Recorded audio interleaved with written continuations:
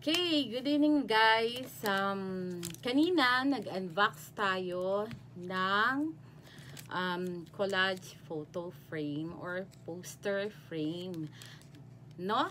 So ngayon, ang i-unbox natin ay yung sandals na in-order ko sa Wish. Ang mura lang ng pagkaka-order ko nito eh. Magkano ba yung order ko nito? Wala pang 1,000 yen eh. So, yung delivery niya is nasa 800 something lang.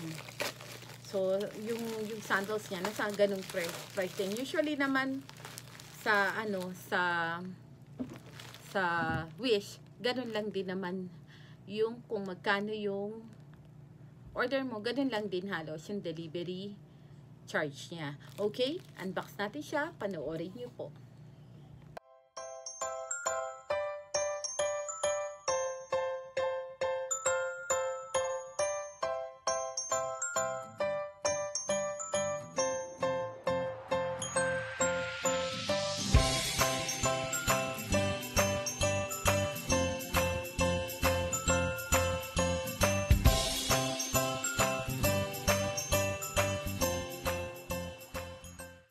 Hello guys again! So, ito na naman ako. Mag-unbox tayo ng in-order kong sandals sa Wish. Okay, sabi ko nga kanina, yung order ko sa kanya, wala pang 1,000 yen. So, yung delivery charge niya, ay nasa 800 something lang. So, sabi ko nga, kung magkano yung pagkaka-order nyo, usually, ganun din halos yung delivery charge niya or yung shipping fee niya. So, sa mga order sa Wish, mag-ingat lang kayo kasi kung ano yung nakikita nyong price, usually, nag naiiba pa yon ha. Hindi yun yung talagang price niya. Meron po siyang shipping fee or delivery charge. Mag-iingat lang kayo. Kasi baka mamaya kung akala nyo yun na yung yung babayaran nyo. Pero titingnan nyo kung maigi. Kasi yung iba, akala nila, niloloko po sila ng wish. Hindi po. Hindi kayo niloloko ng wish. Tapos, ang kagandahan pa sa wish, kapag ka hindi nyo nagustuhan yung in-order nyo, or iba siya dun sa expectation nyo, pwede nyo po silang i-cancel. Just talk to the customer service center, or uh, customer center ba yon yon may sasagot po talaga sa inyo. Pwede nyo silang i-chat. Okay, so ito na yon Ayan, kakapiraso lang siya. Kasi talaga ito yung hilig ko yung sandals talaga, no? So, pang ilang sandals ko na to sa kanila. Pangatlo na. Dati kasi nung dalaga ako, talagang tatlong pong sandals. Ito, anong kulay ba to? Yellow ba to? Pink? Oh, this is the pink one. O, oh, diba? Umorder na ako ng pink ngayon. Wow, ang taray ng takong. Takong pa lang ang view glass yun nga lang napansin ko, pag bungad ko, ba diba? Tingnan nyo yung takong niya. Madumi. Hmm. Medyo madumi yung takang. Pero okay lang. Pero may tuloy siya, no? Yan, no? Yan. Kasi madudumihan naman ang takong. So, hindi ako masyadong ano, uh, maarte sa takong na, yun sa swelas.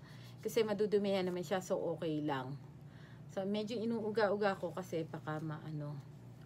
Mm ang feminine naman ang kulay. Ayun. Nung nakita ko siya, medyo nakaangat dito. So, nakaangat. Hindi masyadong dikit. So, diniinan ko lang. Medyo magas pangyayari niya. Pero okay lang. Ang feminine ang kulay niya, oh. Ah, parang medyo pagka-pink beige, oh, ba? Ang simple ng design niya. Tanggalin natin yung plastic sa ibabaw. Ano yon?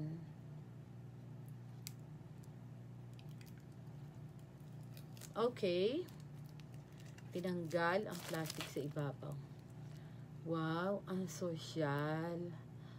O, oh, diba? Ang girl ng ano, ang girl ng dating niya, yan o. Oh. O, diba? Ang girl ng kulay niya, oh. No? So, ganito yung mga tipo ko ng sandals na pwede ka naka-short, pwede ka naka-bestida, pwede kang naka-pantalon, or naka-pedals. Ayan. Pwede siya. Maganda. So, tingnan natin yung kaparis niya.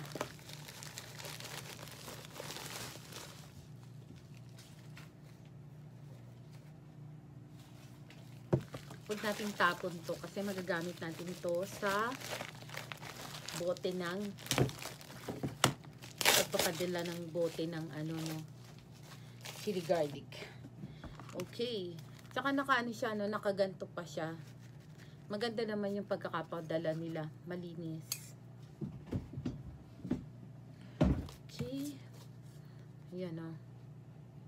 That is the swellas. Ayun o, nakaangat kasi. Ayan o, nakaangat. So, ididiin natin siyang ganyan. ba? You know, pagdiin mo, medyo maluwag yung pagkakakaram. So, what do you expect naman, ba?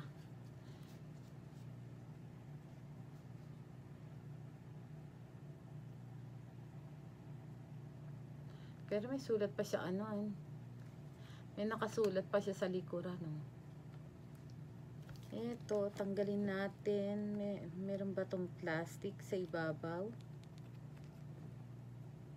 Bakit yung isa may plastic? Bakit ito wala?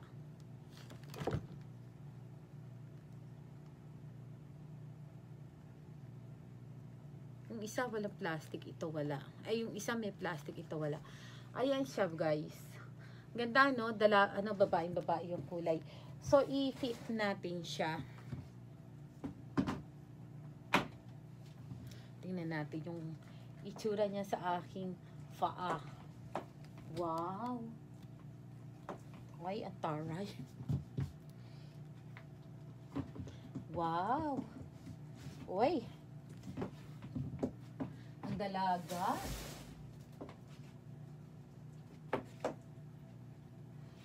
Ay! Naku, magugustuhan niyo siya.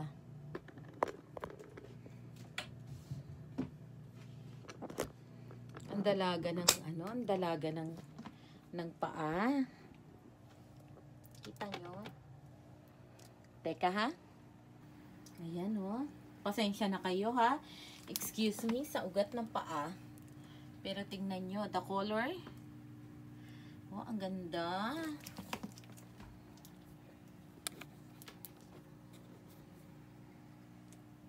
O, oh, diba? Ang dalaga ng ano. Ang girl. O, diba?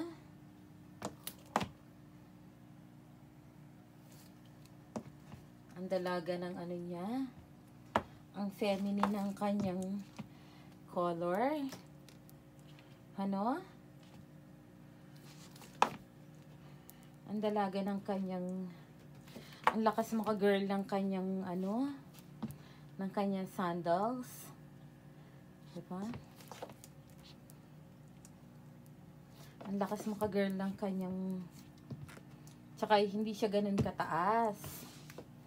Ganda. Diba?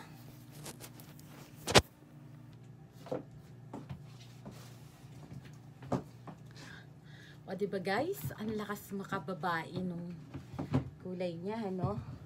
Parang pink page yung kulay.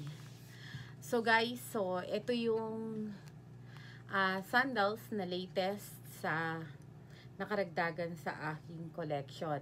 So ang size niya is 23, no?